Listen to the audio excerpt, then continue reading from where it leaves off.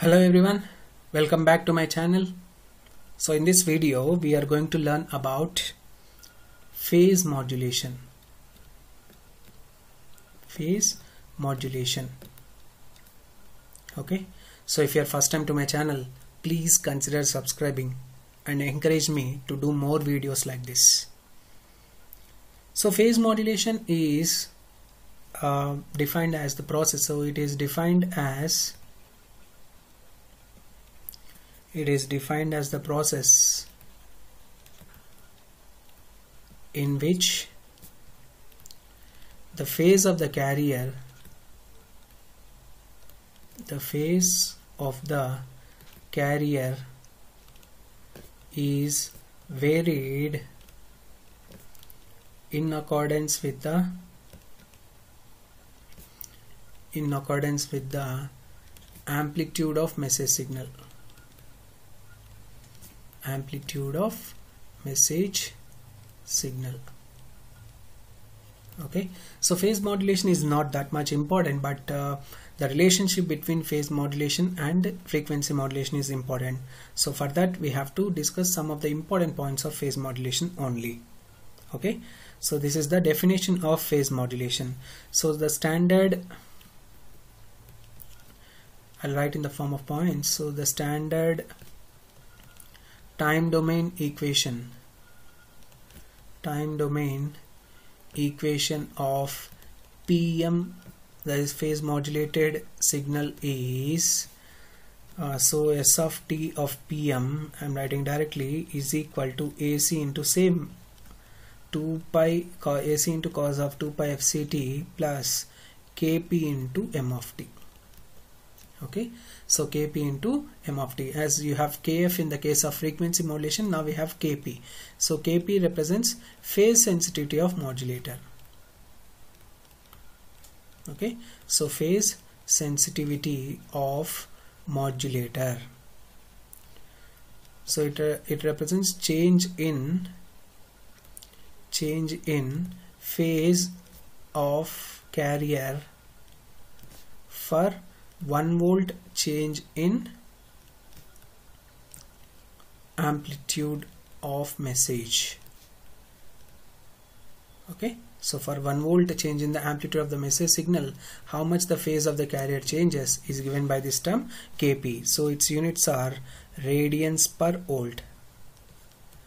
Radians per volt is the unit for this kp okay so this is the thing which you have to remember. So what what is phase modulation? So phase modulation is uh, voltage voltage to phase conversion. Okay? So what is frequency modulation? Frequency modulation is voltage to frequency conversion. So the amplitude the amplitude of the message signal is converted into frequency of the carrier. Okay? So that is why frequency modulation is voltage voltage of the amplitude that is the message signal is converted into frequency. So it is resided in the frequency of the carrier. Okay? So it is voltage to frequency conversion. Phase modulation is voltage to phase conversion okay?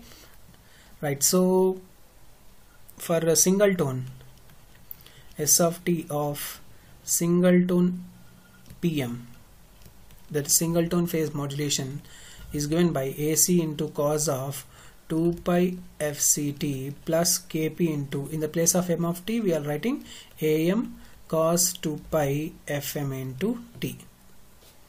So it is equal to AC into cos of 2 pi fc into t plus kp into am in phase modulation. Just remember this. In phase modulation no not details are required. So no in-depth analysis is required in the case of phase modulation. So del phi that is phase deviation.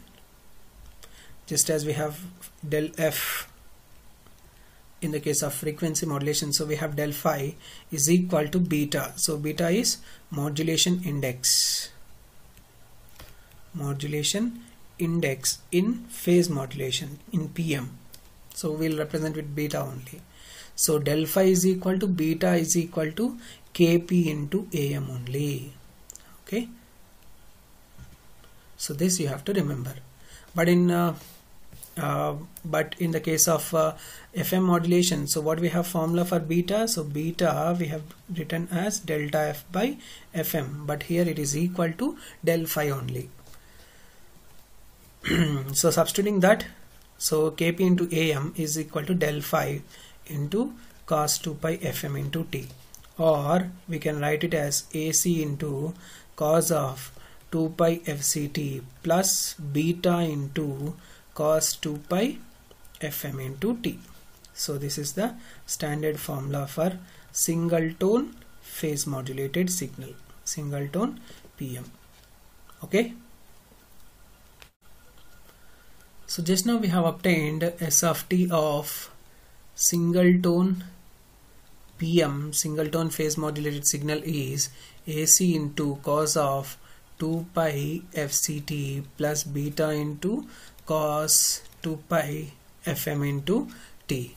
So when you write single tone fm single tone fm standard time domain equation is given by ac into cos of 2 pi fct plus beta sine 2 pi fm into t. Okay?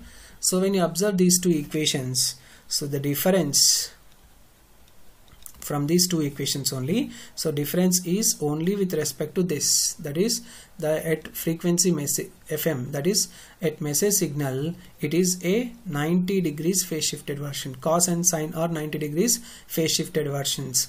So at at a message signal frequency only we have a 90 degrees phase shift. So the difference between fm and pm signals is a FM and PM is a 90 degrees phase shift. A 90 degrees phase shift at message frequency. At message frequency only you have a 90 degrees phase shift. Okay so this is the difference. Okay so if you write the standard time domain equations here so s of t of uh, pm is ac into cos of 2 pi fct plus kp into m of t. Similarly for fm it is s of t of fm is ac into cos of 2 pi fct plus 2 pi kf into integral 0 to t m of t dt. Okay so these are the standard time domain equations. Okay so comparison of pm and fm that means how to get uh, or relationship between pm and fm you can take it as that concept also. So when you have 2 pi kf is equal to kp okay?